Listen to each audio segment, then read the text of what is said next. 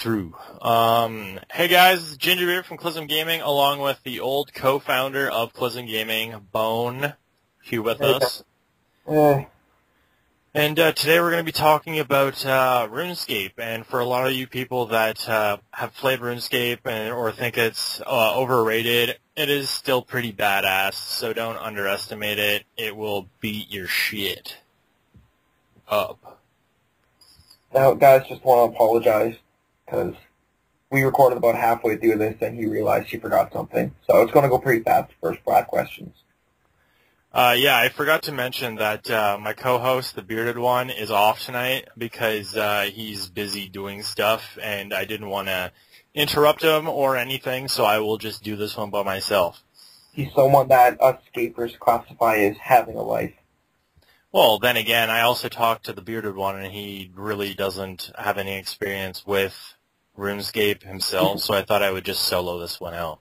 So, uh, the bearded one, if you are listening to this when I do upload it, I do apologize for not We love letting you. you know. I love you.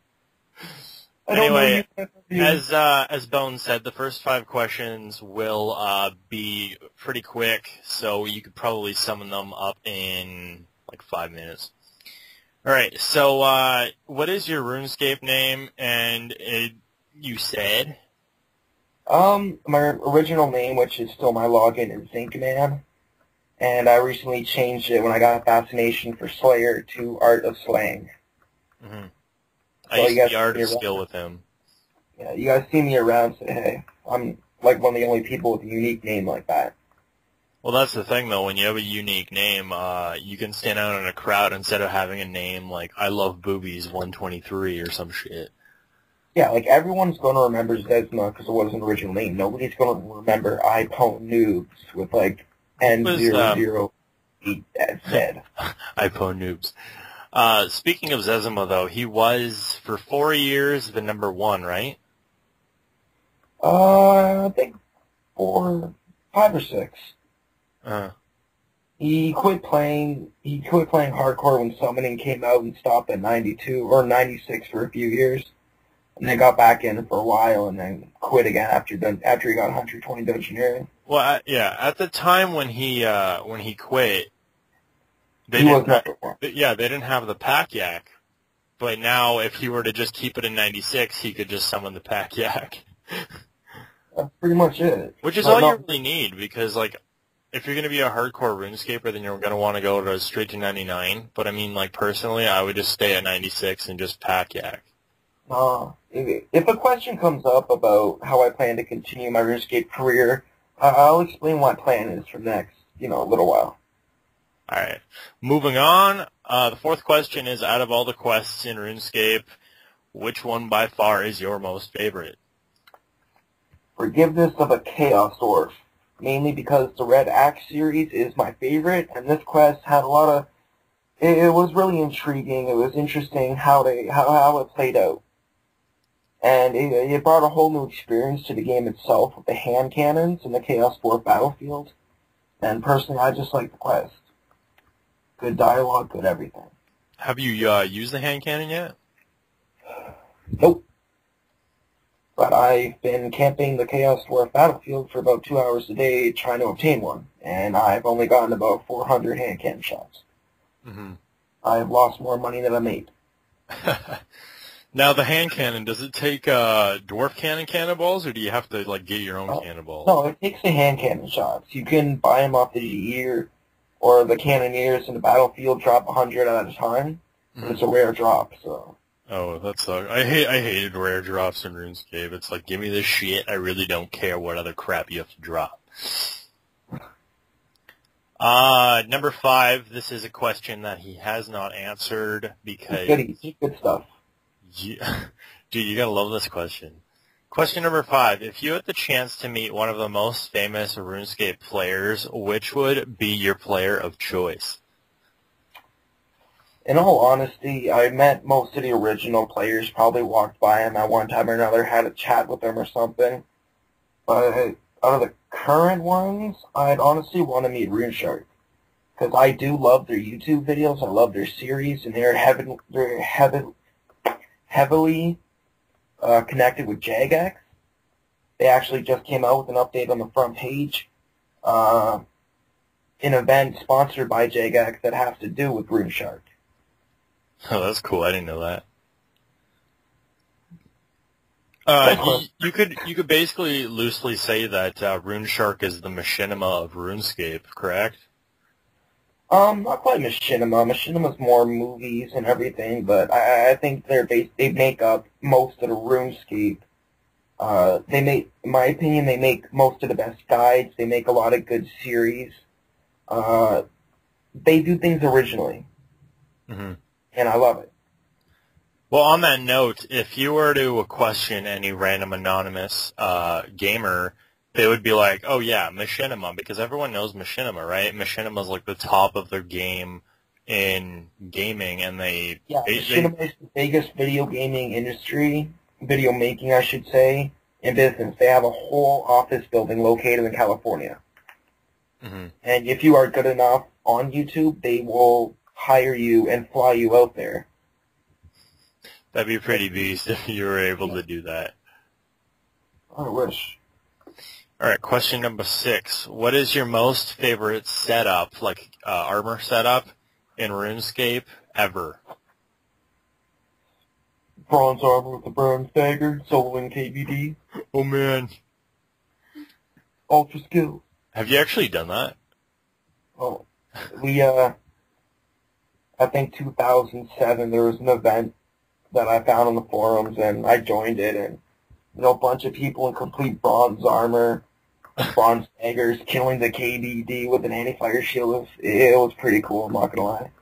Can you just imagine, like, aimlessly stabbing at it for a couple hours, and it's only, like, an indent of health? Now, you can knock two hours off each kill if you actually switch the attack style with stab. Could you imagine doing that, and it's just like, what the fuck? Oh, jeez. Next. Oh, hey, look, it's Shane! He decided to join us! It's the bearded one! Oh, hi, hi there. We're Hello in the there. middle of, we're in the middle of a recording. Oh, I showed up at the perfect time then. Perfect. Amazing, perfectly timed. We are, uh, talking about RuneScape and shit. I see, so I'm completely useless for this episode. Basically, that's the reason why I was soloing it out. Yeah, sorry, I've been feeling like shit today, so I didn't really want to do any recording. That's Yeah. okay. Blue bug going around this city. in the city. Anyway, we should get on with this. Alright, um, question number seven. What is your most favorite skill to train? Uh, I think my name says it all. It has to be Slayer. Just the versatility of it. It doesn't get boring, and it's a good way to train all your skills and everything at once. I I love this skill with all my heart. I'll do it till the day I get 99 and pass. Would you ever get, uh, 200 mil experience? Oh, fuck yeah. Like, straight up, just go. Would you ever, uh, join the, uh, Slayers, uh, guild? Uh, TSG, I have put in an application, but I told them I'd rather stay in the current clan I'm in, which at the time was Magi, but I have changed over to the Aquarium. Oh, and uh, Gingy, I made you to I made you the uh, host of Magi. Just just saying when I quit. Like, the owner? Yeah, Really? yeah. I love you, so I did that for you. thank you. Alright, But- question number eight. Uh, I do not know how to pronounce this, but I will try my best. If you lived in Glenore, which is the whole world of RuneScape, in real life, where would you most likely spend most of your waking hours, like to hang out? Whorehouse. they don't have whorehouses in Glenore. I will build one for the sake of hanging out at it countless hours. We'll build it right outside Falador Castle. Use your uh, player player owned house and uh, make a room. Call it the whorehouse. Bring all your bitches in there. Uh, no, I'm, I think I'd have sad to say Kuradal's dungeon. hmm I, I, I, I'd make those abyssal demons my bitches. Have you, uh, on that note, have you ever fought a uh, mithril dragon before? Uh, I've killed almost a thousand, I think. I Have you ever- my Have you ever gotten a, uh, what's the drop they drop? Full helm? Yeah. No. But I, I have gotten about 50 something chewed bones, which I have to sacrifice or whatever to a pyre and there's a better chance I'll get a full helm. Uh-huh. But they're a bitch to kill. Yeah. Uh, number nine, what is the most valuable thing you've ever had on your RuneScape account, both to you in wealth, both to you or in wealth? Um, well, I've had a lot of different things. You know, I have had a party hat at one time, but I, I think the most valuable item I have is my bunny ears. It's because it's a really unique item, and it's the first untradeable holiday item in game. Mm-hmm. And I have, to this day, only saw about 10 people in game wearing them. Because they want to flaunt what they have. Yeah, If you have it, you flaunt it, right? Exactly. I love them. But uh, you did say that in wealth you have had the uh, party hat on you before. Uh, I have had a party hat, and but I ended up selling it in 2004 for like six mil or something to some random noob. Mhm. did you get So- all the money, or did he try to scam you? Oh, I got all of it. Good man. What is uh, number ten? What is your most favorite monster in RuneScape? My favorite monster? That's a good question because there are a lot of them. Yeah. Well, I mean, bo- well, both to date and like ever. uh, years ago, it would have to be cows because I spent countless hours and hours and hours and hours collecting cow hides and bones. You could surprisingly make a lot of money on cowhide.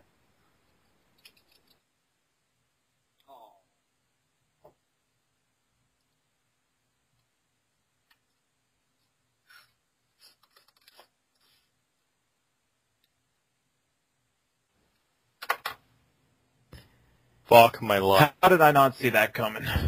I knew it was gonna happen sooner or later. That was awkward. Yeah, my RuneScape, or fucking fuck, my internet disconnected. Anyway, next question.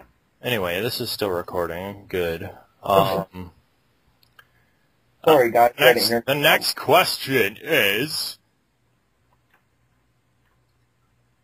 uh, what is your uh, highest level you've ever gotten in a skill?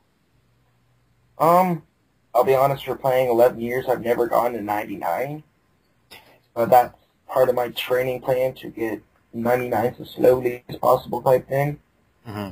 I do plan the max combat in From Slayer. And right now my highest level is 97 attack, followed by 93 constitution, which I just got today. Nice. Uh, question. question number 12. Uh, have you ever used a third-party program to modify RuneScape in some way? So this would mean botting, hacking, whatever. Uh, no, but uh, right now there's a dungeoneering program called Dungeon Sweeper.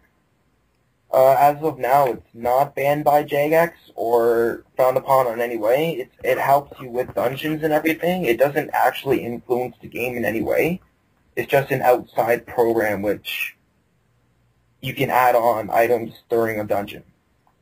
If you're playing a dungeon in game, you can switch this program and map out everything. It's actually it's a pretty cool program. It's a pretty cool program, but I would see people uh, abusing it to uh, scam off XP from the game. That no, that's the thing though. It doesn't directly influence the game. Oh, so like, It- let- let's say I needed, um, It's a dungeoneer guide. It basically gives you a map of the whole floor, and you add on which doors are here, which color keys here, uh, where certain resources are. It, it goes really in depth, but it does not in any direct way influence the game. Oh, cool. So it's basically like mapping out the uh, the thing. The, Yeah. Uh, that's pretty sick. Uh, next question would be. Holy crap, you have a lot of questions. I know. I am doing 20 questions. Holy shit. Fuck yeah. Uh, question 13. How often do you use the Grand Exchange? As of now, questing, I've been there quite a bit because items are hard to come by. But other than questing, I have come up. I have decided I will not use the Grand Exchange to buy any materials that I can gather myself. Yeah. If I decide I, I will only buy gear or you know weaponry, armor, and stuff because those are hard to come by. Yeah. Uh, I will buy like you know a dragon pick, a dragon axe, or something. Items to help me gather materials. Rather than that, I don't buy any potions. I don't buy any logs. I don't buy any bowstrings or flax. Mhm. I don't buy anything that I can gather myself. Yeah, flax is a pain in the ass to collect, but back in the day it was really, uh, Expensive. yeah. Um, next question. Oh, I learned a lot. Who is your favorite NPC? Hmm. Favorite NPC? There's a lot of them. Again. I know. Uh, it would probably have to be Commander Veldaban or whatever from the Red Axe series again in the quest. Because he is a really lively character with a lot of different personalities. Just because they go really in depth with his, like, past life. Is he schizophrenic? No. It's, it's just they go really in depth with, depth with him, and he is a huge part of the Red Axe series. And uh, he's got be my favorite NPC. Uh-huh. All right, uh, question 15 would be, in real life, would you rather be trapped in the depths of Lumbridge Castle or trapped for four days without food, water, or shelter in the creepy swamps of Morytania? I'd have to go with Lumbridge Castle. Because then I could just go to the bank chest and buy all the food and supplies I need. Oh yeah, that's, I never even thought of that. but uh, then again, Morytania does have like vampires and shit, and it's gross and smells like fish. Kill the snails for some food or something. And then have a gas kill it on you. I'm gonna go off topic, but uh, I don't even know if it was uh, you that I did this with. But uh, way back in the day, before uh, when uh, the wilderness was shut down by Jagex from PvP and the uh, revenants were in place, uh, me and uh, a couple of my friends, I don't know if it was you two, but uh, we used to do survival in there. And we would have Oh, to make up all of our armor, all of our food. We would have to like fish and shit. And we basically like reenacted DayZ, like before DayZ was made. yeah. So like if someone was caught by a, uh, a revenant, they're just like, okay, yeah, fuck you, we're done. And then we would always like try and go back into it. Um, moving on. Question number sixteen. Almost Indeed. done. Uh, which RuneScape monster or characters would you want to have a sexual encounter with All of them. I like that answer. at the same time? Every single one. Just a massive orgy. Do you enjoy the wise old man's party hat rubbing against your lower back Indeed, Oh, it's all I think as, about at work. as he gives you a rim job? I, I dreamed about a threesome with the King Black Dragon, the Queen Black Dragon, and myself. That's uh, pretty beastly, I agree. If you catch my drift. Um, what is your most memorable loot you've ever gotten from a monster? Oh, jeez. Um, fuck, I think, uh, what was it? Do you remember that one time I completely flipped shit over a drop? I think that was when we were fighting uh, the KBD. Mm, I'm not too sure. You flipped shit when I made like four mil off of those Torstol drops. Oh yeah, you got like a 40 clean torstol drop and like sold, and I'm like, uh, Made like actually, yeah, I think it would have to be, uh, um, what was it? There's a monster that constantly drops torstol seeds. Really? Yeah, torstol seeds. Uh, I think it was Taras. Uh, one Taras task, about 150 of them, I ended up getting well over 10 torstol seeds. Wow. That's just from, you know, single drops. So I was, I was in heaven. I was about a good three mil back then. Damn. Uh, question number 18. Have you ever been scammed or hacked? Uh, I have been, no, actually I don't think I've been scammed or hacked. No, I was always a smart player. you know, I figured like I never used to socialize much, and then I always learned all the, you know, smaller scams and stuff. Yeah. So, and nah, yeah, I just played smart, kept things to myself. You, you have to think if someone's running around saying trimming armor. I remember those days. Yeah, exactly. Uh, I'm going to add a question in here. Have you ever gotten into dicing? Um, I tried it once. I came out with like five no and said, you know, screw it. uh, Jagex banned dicing, eh? They removed the dice bag from the game. Yeah, they moved it completely. Now there's some hot and cold thing going around, and I don't even know what it is, and I'm not even bothering to find out. Mm-hmm. Because in no way will I gamble my GPs. Has like the um, was it because uh, like Jagex removed it maybe because uh, a lot of people were getting scammed and a lot of people were No, it's they removed it because the intention of the dice bag was not to gamble, but for friends to have a fun time. mm-hmm. So if they removed it because gambling was not the original intention, and they did not like how players used it with their intentions. Isn't gambling against the rules though? Uh, I believe so. That's funny. Uh, question number 19. Have you ever gotten a 99 and plans on getting one? I have no 99, but I do have plans on getting every 99. It'll only take 13 more years. no, Speaking but my of 13, today is Friday the 13th. yes, it is. But my goals will for my eat your children. My goals for my 99s are to get them purely myself. Uh-huh. I will not, like I said, I will not buy any materials off the GE. Yeah. So like herblore and fire making, or Bibles or their prayer, I will not buy a single item off the GE. I Oh will man. gather all the materials myself. Fire making would be a pain in the ass to collect all the materials yourself. Unless you were to just straight up cut willow logs. Actually, not really.